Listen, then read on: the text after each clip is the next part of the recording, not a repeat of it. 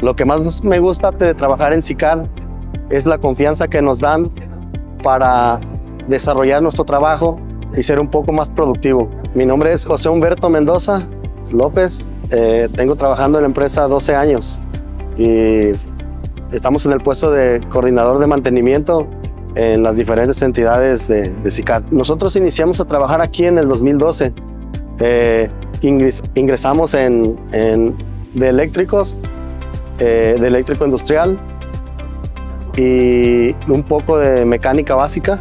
A partir de las capacitaciones y cursos que hemos recibido, eh, fuimos adoptando más eh, habilidades como fabricación de equipos, soldadura, mecánica industrial, instalación de equipos, mantenimiento a, maquinaria preventiva y correctiva.